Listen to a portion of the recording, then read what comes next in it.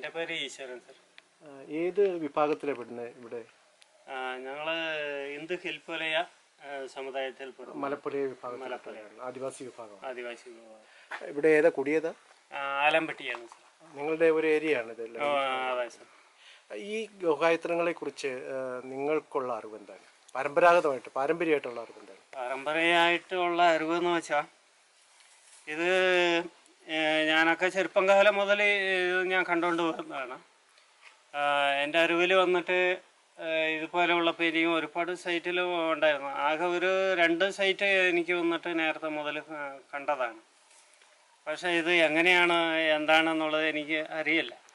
ഇത് വരച്ചത് നിങ്ങളുടെ വിഭാഗത്തിൽപ്പെട്ട ആൾക്കാരാണോ? അത് ആരെയൊക്കെ വന്നാണെന്നോ? നിങ്ങളുടെ ഇടയിലുള്ള കഥകളോ അങ്ങനെയല്ലോ ഉണ്ട് ഇതിന് ഇല്ല സർ അങ്ങനെ ഒരു കഥകളൊന്നും ആ, പറയാൻ പോയി കഴിഞ്ഞാൽ ഇപ്പൊ ഇതിലൊന്നും വരച്ചിട്ട് ഉണ്ടെങ്കിൽ നമ്മൾ ഇതിന് എതിരായിട്ട് വേണമെങ്കിൽ അതിന്റെ അടുത്ത് എന്തെങ്കിലും നമ്മൾ കാണിച്ചിട്ട് പോവല്ലാതെ ഇതിനെ കുറിച്ചുള്ള അറിവ് അങ്ങനെ നിങ്ങളുടെ പാരമ്പര്യമായിട്ട് നിങ്ങളുടെ കാരണവന്മാരോ അവരുടെ കാരണവന്മാരോ ഒന്നും വരച്ചതായിട്ട് പറഞ്ഞു കേട്ടിട്ടില്ല. ഇല്ല ഇല്ല ഇല്ല.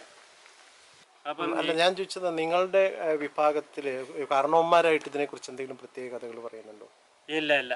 ഇപ്പൊ ഓരോ ചിത്രം കണ്ടു കഴിഞ്ഞാൽ അതിന്റെ ഒരു പേരാണ് വയ്ക്കുന്നത്. ഓ ഓരോ അള്ള് എന്ന് പറഞ്ഞ അള്ളിന്റെ അകത്ത് ഒരു ചിത്രം ഉണ്ടെങ്കിൽ. നിങ്ങളാണ് ഇതിന് മാടത്തള എന്ന് പേരിട്ടത്? അതെ അതെ അതെ. നിങ്ങളുടെ വിഭാഗക്കാരാണ്. വിഭവക്കാരാണ് എന്തുകൊണ്ടാണ് മാടത്തള എന്ന് പേരിടാൻ മാടാത്തള എന്ന് പറഞ്ഞ ഇത് പണ്ടത്തെ ഇത് ഇപ്പൊ നമ്മളെ കാണുമ്പോൾ ഇത് ഒന്ന് മാനാണ്.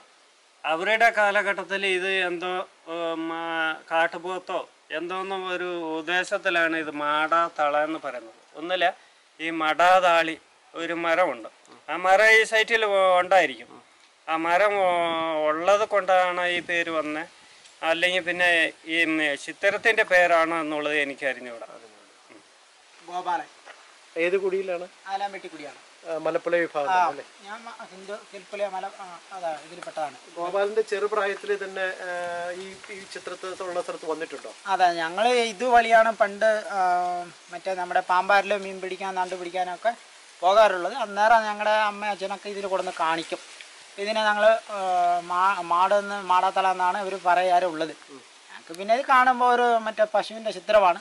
കാണാൻ നേരത്തെ നല്ല ഭംഗിയാണ് അപ്പോൾ ഇതിന്റെ കഥ എങ്ങനെ പറയാമെന്ന് പറഞ്ഞാൽ ഇതിന്റെ അടുത്ത് തൊട്ടടുത്ത് പൊതിമാടെന്ന് പറ- പറഞ്ഞ ഒരു വഴിയുണ്ട് തമിഴ്നാട്ടിൽ നിന്ന് നമ്മുടെ കേരളത്തേക്ക് വരുന്നത് അപ്പോൾ അവർ പൊതിമ പുറത്ത് സാധനങ്ങൾ വെച്ച് വരുന്നത് അങ്ങനെ വന്നിട്ട് നേരെ വെളുത്തപ്പം ഇവരിവിടെ ഇരുന്ന് ഭക്ഷണം കഴിച്ചിട്ട് പശുവിനെ അളിച്ച് മേയാൻ വിട്ടിട്ട് രജിസ്റ്റർ ചെയ്യുന്ന സമയത്ത് വർഷ പെയിന്റിങ് ആയിട്ടാണ് ഞങ്ങൾക്കൊക്കെ അന്നേരം അവർ കഥ പറഞ്ഞിട്ടുള്ളത്.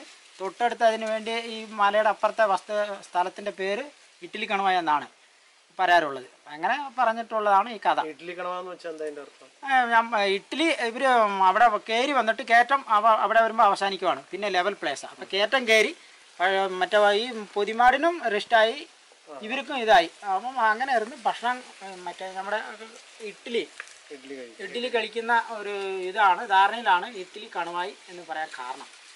ഇപ്പോൾ നമ്മൾ ആ പറയുന്ന സ്ഥലത്ത് ചെന്ന് ഇറങ്ങി കളഞ്ഞ പിന്നെ ഇങ്ങനെ കുറ്റി ഇറക്കമാണ്. കയറ്റം കയറി വന്ന ഒരു അവസ്ഥയ്ക്ക് ഇവർ റെസ്റ്റായി അങ്ങനെ ഒരു കഥയാണ് പറഞ്ഞു കേട്ടിട്ടുള്ളത് ഇത്ര മാത്രമേ